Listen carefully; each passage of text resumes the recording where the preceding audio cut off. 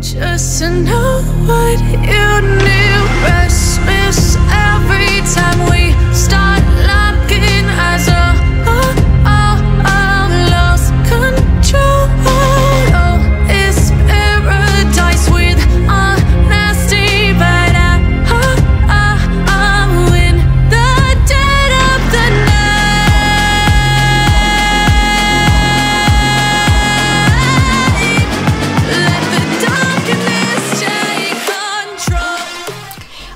amores, bienvenidos al canal. El día de hoy les traigo esta Catrina en tonos pastel que me inspiró muchísimo la corona que hice. Las rosas eran blancas y las pinté con spray de color como azul aqua. Y le, le puse un poquito de listón celofán a los lados y eso es todo. Esta Catrina me gustó muchísimo, aunque los lentes de contacto se hacían un poquito incómodos, pero creo que van bien con el look así tipo gótico y pastel. Así que ojalá les llame la atención a esta Catrina y se queden a ver este video tutorial. Bienvenidos.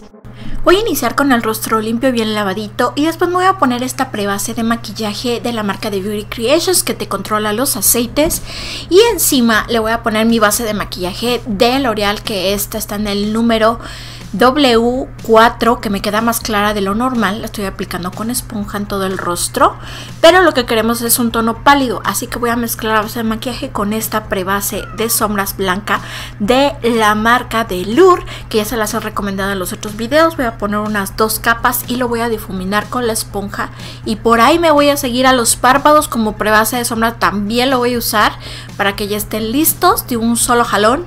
Y ahora voy a utilizar este polvo que me encantó de la marca de Bisú, es nuevo, es translúcido para sellar el maquillaje. Lo estoy poniendo con una brocha, pero lo puedes poner con la borlita que viene en, en el estuche.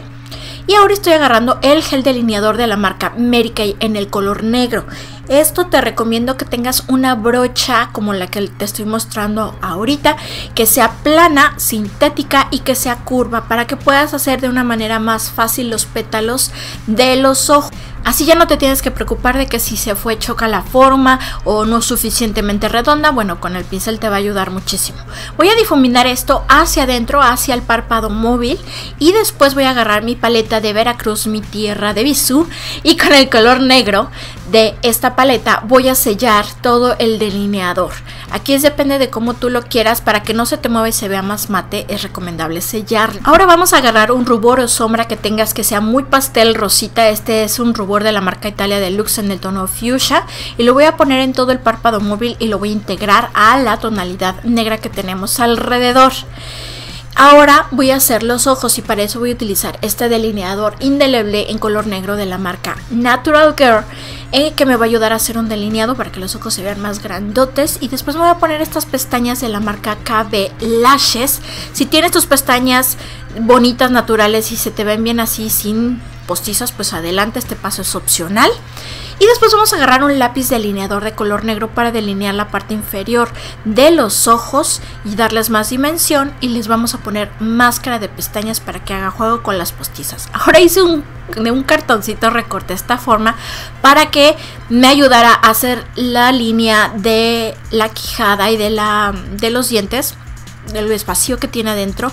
Y no me fuera yo chueca esto lo puedes hacer recorta un cartoncito para que ya no le andes midiendo corrigiendo las líneas es mucho más sencillo. Lo puedes seguir utilizando para todas las catrinas que tengas y te va a hacer la estructura súper homogénea de un lado y del otro Ahora con el mismo lápiz delineador negro, que este es de la marca Pink Up en el tono Deep Black. Y lo voy a utilizar también para hacer las líneas de los dientes. Y en esta ocasión los dientes los estoy haciendo como en forma de llamita, como si estuvieran estirados hacia las partes de los lados. Y los vamos a hacer arriba y abajo. Eh, si tú no te sientes bien con el lápiz delineador, puedes hacerlo también con sombra pero eh, de todas maneras vamos a utilizar la sombra para darle la profundidad necesaria tanto a los dientes como al hueco. Este, aquí estoy utilizando un pincel plano de cerdas cortas que me va a ayudar a que no me pase yo de la línea que ya trazamos con el cartoncito y lo vamos a ir difuminando hacia adentro, hacia el centro de la cara hasta donde tú quieras. También vamos a utilizar esta sombra para delinear los dientes para que se les vea una profundidad entre cada uno de ellos y lo vamos a difuminar un poquito hacia arriba. Este paso también lo puedes hacer con gel delineador si lo quieres más marcado y más definido, pero como te digo, a mí me gustó muchísimo más el efecto de sombra. Ahora voy a tomar el mismo rubor fuchsia de Italia Deluxe y voy a difuminar la tonalidad negra que tenemos a los dos costados de la cara.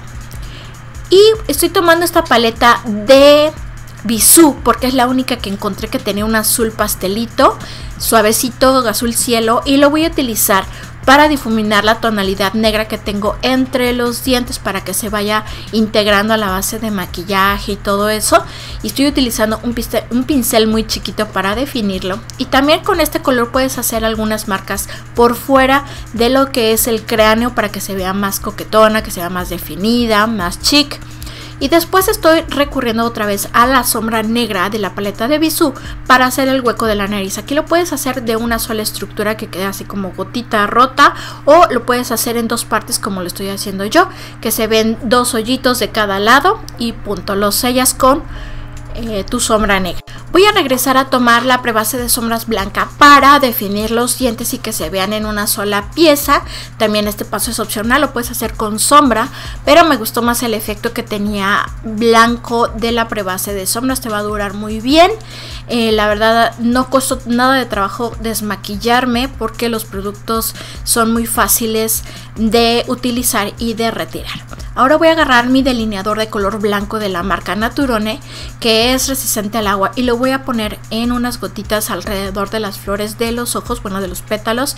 Puedes poner en la parte de adentro pero yo decidí ponerlo afuera. Aquí ya es decisión de cada quien y ahora con el, la sombra negra y un pincel delgadito voy a hacer unas líneas. Aquí quería hacer una telaraña pero después ya dije no me da tiempo y decidí dejar así nada más a la mitad y poner un poquito de pegamento de pestañas resistente al agua y pegar estos brillitos que son grandes como de tono sirena que encontré en la, en la tienda Sasha Beauty de aquí de Guadalajara en la Gran Plaza.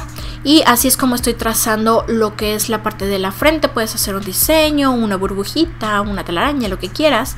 También estoy utilizando los mismos brillos faciales eh, para iluminar los lagrimales para que haga juego con lo de arriba y por qué no también en la barbilla voy a hacer el mismo diseño de arriba que se va haciendo hacia los lados con diferentes tonalidades y con la luz se ve hermosísimo este efecto. Aquí ya me puse los lentes de contacto y la peluca de color rosa. Este look se va a ver muy bien con una peluca de color aqua, blanca y rosa. La verdad es que a mí la rosa es la que más me gustó. Y aquí decidí agregarle a los dientes un poquito de los brillos en delineador de la marca Naturone en el tono iridiscente. Y pues aquí está la corona que hice para este look que me inspiró es de color aqua, las flores eran blancas, las pinté de azul y le agregué el listoncito. Por favor, coméntame si quieres un tutorial de cómo hacer coronas. Gracias por verme.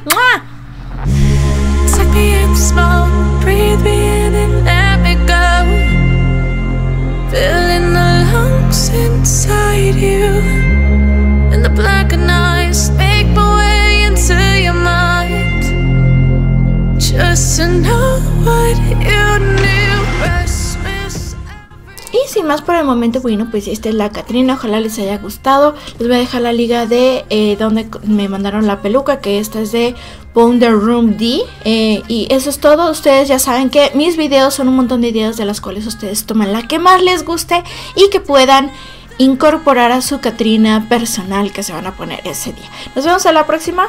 Cuídense mucho, no olviden suscribirse al canal, dejarme sus deditos arriba y compartir este video. Nos vemos, bye bye.